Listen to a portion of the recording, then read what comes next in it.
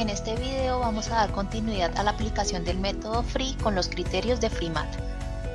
El paso que sigue es calcular el coste cardíaco absoluto o CCA, el cual permite estimar el consumo energético y por lo tanto el costo físico que supone la tarea desarrollada en términos absolutos, es decir, independientemente de las características del trabajador que la está desempeñando.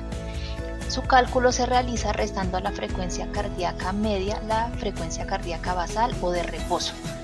El CCA establecido para esta actividad es de 60 pulsaciones por minuto. Posteriormente se calcula el coste cardíaco relativo o CCR. Este parámetro permite estimar el grado en el que el trabajador que realiza la tarea está adaptado al puesto de trabajo y a su demanda energética.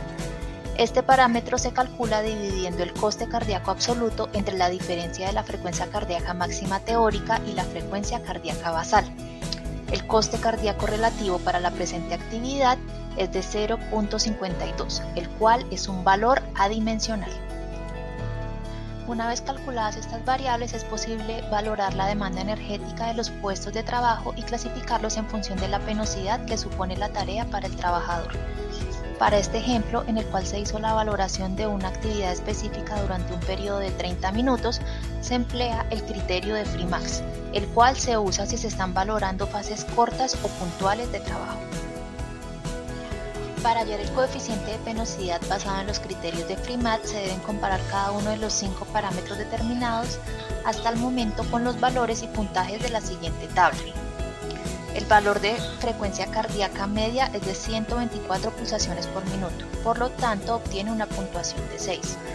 El valor del aumento de la frecuencia cardíaca media es de 4 pulsaciones por minuto, por lo tanto obtiene una puntuación de 1.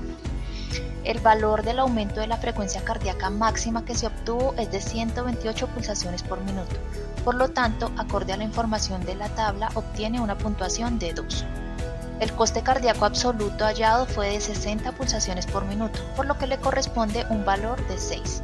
Finalmente, el coste cardíaco relativo hallado fue de 0.52, por lo que le corresponde un valor de 6.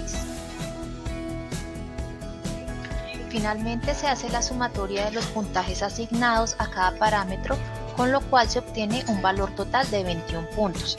Ese valor se compara con la tabla de valoración de tarea de FreeMath y se obtiene que la tarea quedó clasificada como una tarea que está entre una clasificación penosa y dura.